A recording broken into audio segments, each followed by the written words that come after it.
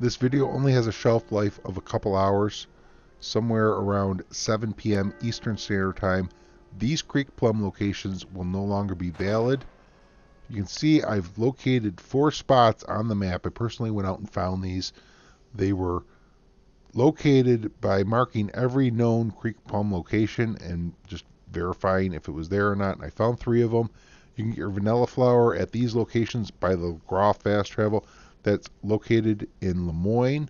And then up north of Rhodes, you can pick some wild mint, and you'll have all three of your ingredients for three batches of the Wild Creek Moonshine.